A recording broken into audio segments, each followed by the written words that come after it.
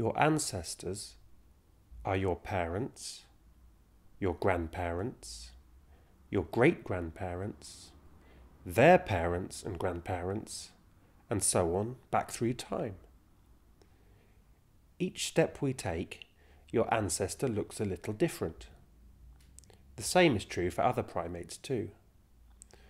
We can go back through both lines for millions of years until we meet an ancestor that the two primates share.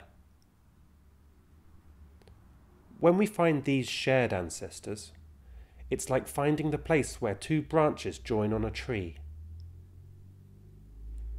We can picture this as our own primate family tree.